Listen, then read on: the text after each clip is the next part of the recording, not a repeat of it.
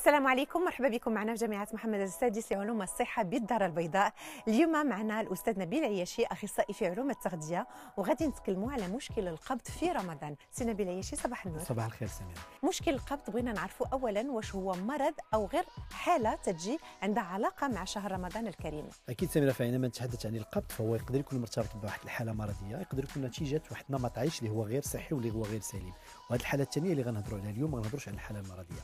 فبطبيعة الحال رمضان للأسف تيظهر هذه المشكلة ديال القبض وهذا راجع للتغير ديال النظام الغذائي وديال مجموعة ديال الممارسات الغذائية للأسف اللي تظهر خلال هذا الشهر المبارك اللي تتؤدي لهذا المشكل ديال القبض ومنها كذلك قلة الحركة. أستاذ واش كاينة أسباب غير غذائية أخرى اللي ممكن تؤدي للقبض؟ هو ملي تنهضروا على الأسباب أسباب تتداخل فيما بينها عندنا عدم تناول كميه كافية من الألياف الغذائية وعندنا عدم تناول كميه كافية من الفيتامينات وخصوصا الأملاح المعدنية. عندنا عدم شرب كميات كافية من الماء لأن الماء والأملاح المعدنية تيديروا واحد التوازن داخل الجسم ديالنا. آه عندنا كذلك نقطة اللي هي مهمة اللي هي الحركة.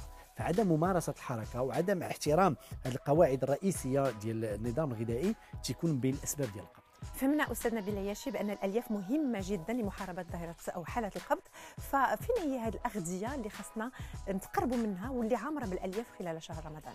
الألياف الغذائيه سميرة هي كاينة خاصنا غير حنا نمشيو عندها. اولا خاصنا نمشيو للخضر والفواكه اللي تكون ما معصراش وما مطحوناش. ماشي العصير أو الصوبه يعني نتناولوا كذلك خضر على شكل شلاضه وفاكهه على شكل فاكهة. النقطة الثانية هو الخبز ديال الشعير ولا الخبز بالنخالة ديالو. وبطبيعة الحال تناول القطن والفواكه الجافة وعلى رأسها التمور كذلك.